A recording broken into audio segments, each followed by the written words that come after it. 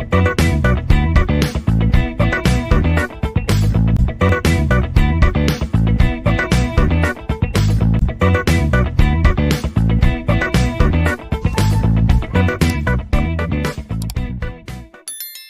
this particular video session, uh, we'll be discussing the second part or the continuation of the module 2.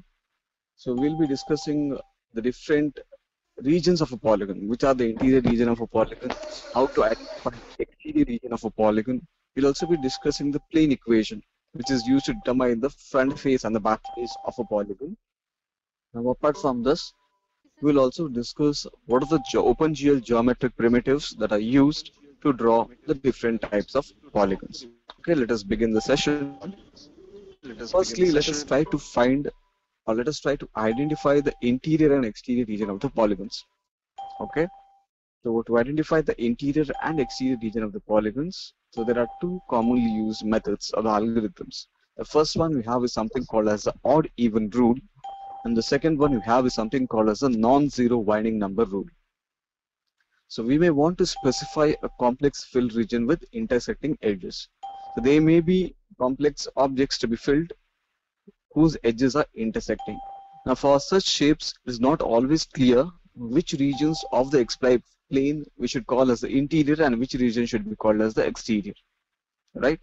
So there may be some complicated shape, something like this, which is shown here. For this particular shape, it's very difficult to classify which region is interior region and which are the regions that are that can be classified as the exterior region of these particular shapes. To determine the interior and exterior region of the polygons, we have two algorithms or the two methods. The first one we have is something called as the odd even rule. And the second one we have something called as a non-zero winding number rule. Let us first see the odd even rule for determining the inside and outside of a given polygon. So in the odd even rule, what we do is we consider any point in a given polygon and we also consider some other distant point P which is lying outside the polygon and we try to connect these two points with a line segment something like this. As you can see we consider one point within the polygon okay? Now that point should be checked if it is interior or exterior point. The point which needs to be checked we consider one point and we try to connect it to some distant point P which is lying outside. And we try to draw a line segment connecting these two points.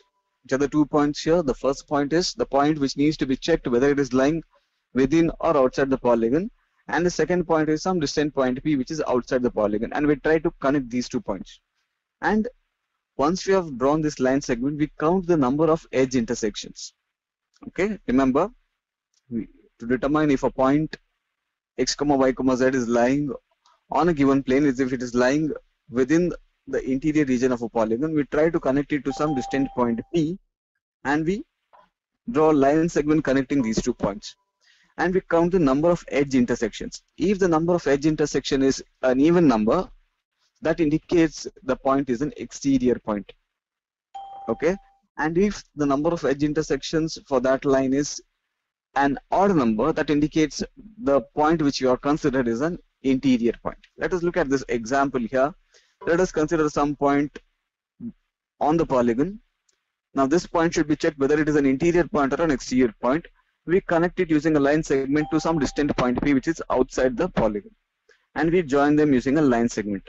Once we have created a line segment, we count the number of edge intersections. If the number of edge intersection is an even number, so we can conclude that particular point what we have selected is an exterior point.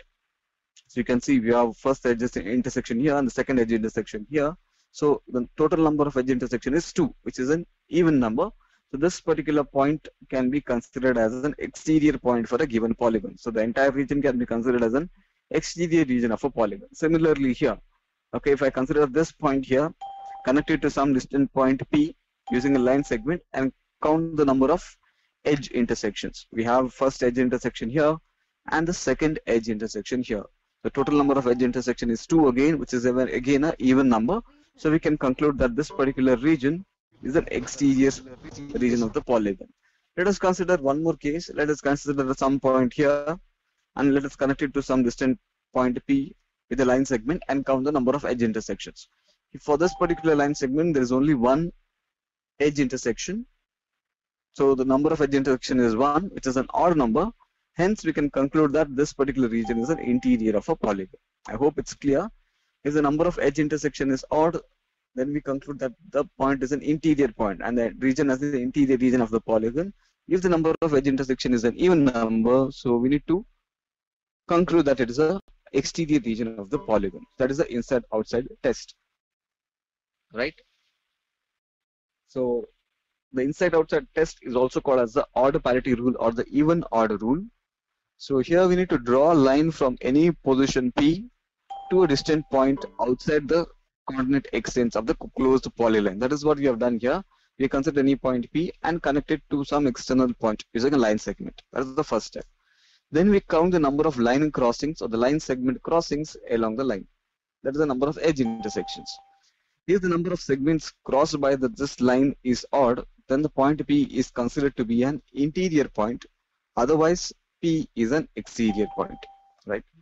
So if you consider a point P and we count the number of edge intersection, if the number of edge intersection is even, then the point P is an exterior point. If the number of edge intersection is odd, then we can call it as an interior point, right? We can use this procedure, for example, to fill the interior region between two concentric circles or two concentric polygons with a specified color. Okay, there may be some cases where we want to fill the region between two concentric circles or two concentric polygons.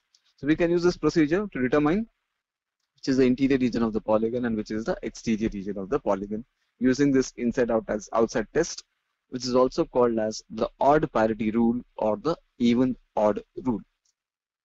Now let us proceed to the next method or the next algorithm that is used to determine the interior and exterior region of the polygon. The second method we have is something called as a non-zero winding number rule. Okay, so in this particular non-winding, uh, non-zero winding number rule, what we do is, suppose we have given a polygon something like this, we try to assign directions to the edges. Okay, so we start from the first edge, uh, first vertex that is A, from A to B, we have one direction, then from B to C, C to D, D to E, E to F, F to G, and back from G to A. So we basically assign directions from one vertex to the next vertex. We assign directions to the edges there. Then we repeat the same procedure what we done earlier. We consider any point P within the polygon. This point needs to be checked whether it is an interior point or an exterior point. So whatever point that we have considered, we try to connect it to some distant point which is exterior or which is lying outside the polygon. Okay we connect these two points using a line segment. Then we find how many edges are intersecting it and what is the direction of the edges. Observe, unlike the even odd rule where we just count the number of edge intersection, here that is not the reason, here that is not the condition here. We also need to determine the direction of these edges. So we consider some point P on the polygon and some other distant point. We connected them using a line segment now we find the intersection of this line segment with the edges and we check what is the direction of these edges. Okay. So whenever we are moving from this particular point, if the direction is from left to right with respect to this line, we subtract 1. And if the direction is from right to left with respect to this particular line segment, we add 1 to it for the winding number. We initialize a variable called as a winding number. We initialize it to 0 so whenever the line segment connecting a point P and some distant point encounters an edge which is moving from left to right, we subtract 1 from this winding number. And whenever there is an edge intersection which is moving from right to left, we add plus 1 to it, the winding number. And at the end, we find the total value of the winding number. If the total value of the winding number is a non-zero, that indicates the point is interior to the polygon. If it yields a value of equal to 0, that indicates the point P is exterior to the polygon. Let us consider this point P, which is connected to a distant point using a line segment. Let us count the winding number. What is the total value of the winding number? Initially, the winding number should be set to 0. So we start from here. What is this? Here we have the first edge intersection, which is moving from C to D, just moving from left to the right. So we subtract 1 from the winding number variable. Now the value of winding number is 0 minus 1 which is minus 1 then we proceed we observe that there is one more edge intersection now the edge the direction is from A to B, which is from right to left with respect to this particular line segment. Okay, so we need to add 1 to the winding number. The previous value of winding number was minus 1. We need to add plus 1 to it. So what is the conclusion? Total value of winding number, it is equal to 0. Since it is equal to 0, we determine that this particular point is lying exterior to a given polygon. I hope it is clear. So this region is an exterior region with respect to the polygon. Let us consider the similar point, one more point here, P. Let us consider connected to some distant point using a line segment and let us apply the same rule. Okay. So we are moving from here to here. So whenever we are proceeding, we observe that the line segment, uh, the it's the edge intersection, edges direction is moving from B to C, which is from right to left. So we add one. We proceed further. We also observe that there is one more line segment which is moving from right to left again. So we add once once again. So the total value of the winding number will be non-zero. It will be plus 2.